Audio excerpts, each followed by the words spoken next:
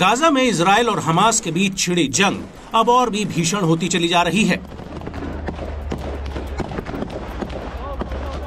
Israeli सेना और Hamas की सैन्य ब्रिगेड अल कासिम और अलकुद्स के द्वारा जारी किए गए वीडियो इस बात की तस्दीक कर रहे हैं।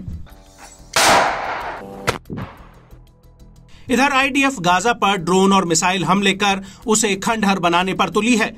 और उधर अलकुद्स और अल कासिम के लड़ाके इजरायली सेना के टैंकों और सैन्य वाहनों को कबाड़ में तब्दील कर रहे हैं। और इसी भीषण लड़ाई के चलते बीती 23 जनवरी को इजरायली पीएम बेंजामिन नेतन्याहू ने अपने मंत्रियों को संबोधित करते हुए कहा था कि लड़ाई का ये तीसरा चरण महीनों तक चल सकता है।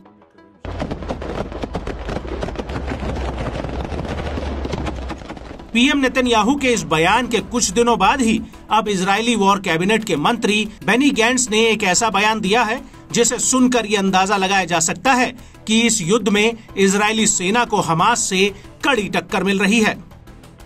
दरअसल बेनी गेंट्स गाजा के पास के इलाकों से निकाले हुए इजरायली नागरिकों को संबोधित कर रहे थे, जहाँ उन्होंने कहा कि हमास के साथ इस युद्ध को खत्म होने में पूरी पीढ़ी भी लग सकती है।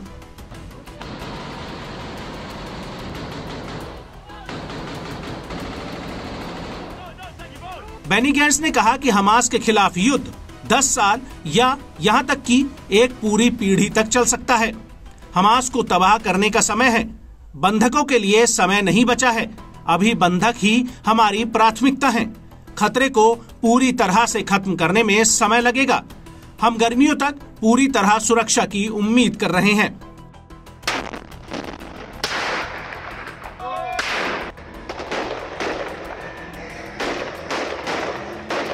हालाँकि गैंड्स ने यह भी बताया कि गाजा में इजरायली सेना जल्द ही मिस्र की सीमा से लगे राफा शहर तक पहुँच जाएगी।